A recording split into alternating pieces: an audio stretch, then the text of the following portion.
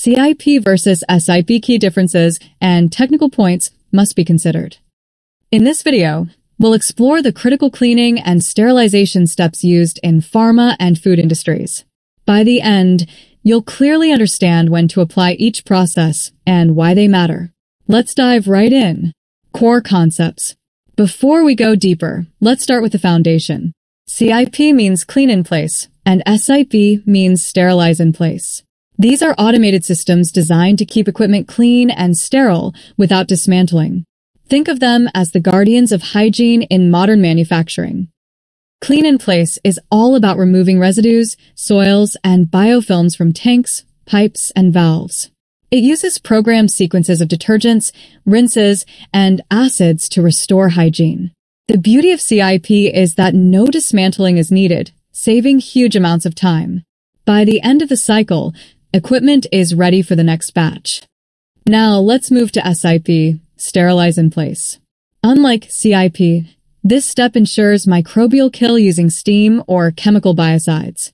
The system is held at lethal conditions to achieve a sterile assurance level for aseptic production. In simple words, CIP cleans but SIP sterilizes. Process steps. Next, let's break down the process flow. Both CIP and SIP have structured sequences that must be followed. Understanding these ensures nothing is skipped. It's like following a recipe for hygiene and sterility. CIP starts with a pre-rinse to remove loose soil, followed by a caustic wash to dissolve proteins and fats.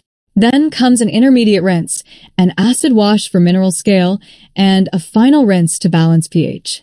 Finally, sanitizing lowers the bioburden to safe levels. Together, these steps guarantee thorough cleaning every time. The SIP process starts by sealing the system and injecting steam until sterilization temperature is reached everywhere. Then, the lethal hold time is maintained to ensure microbes are destroyed.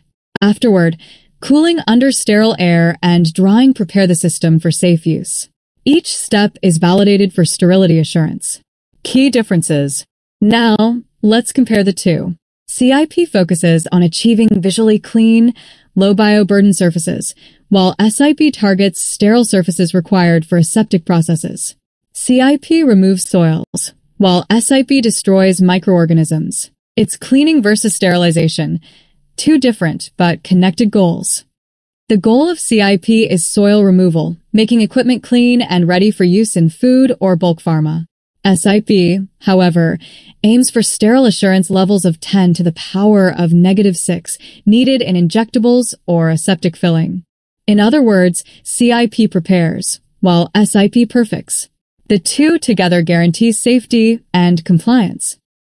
CIP uses water, alkaline, and acid detergents at 50 to 85 degrees Celsius, relying on turbulent flow for cleaning. Monitoring is done through conductivity and pH. SIP, by contrast, uses saturated steam at 121 degrees Celsius for 15 to 30 minutes, monitored with temperature and biological indicators.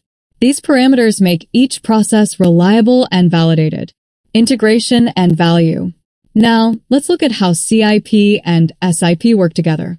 Cleaning must always come before sterilization. They are sequential, not interchangeable. Residual soils can block steam, so effective CIP is a prerequisite for successful SIP. Integration ensures a complete hygiene cycle. First, CIP removes all soils and is validated for cleanliness. Then, SIP achieves sterility by killing microbes. If CIP isn't done well, SIP may fail. That's why both steps are critical in the process chain. Using CIP and SIP offers several benefits. They eliminate manual disassembly, saving time and reducing errors. They reduce cross-contamination between batches and save water and chemicals through recycling systems. Most importantly, they ensure compliance with regulations through validated records.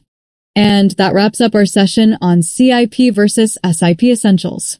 We explored the concepts, process steps, key differences, and benefits of integration. I hope this made the topic simple and practical for you. Thank you for watching, and stay tuned for more.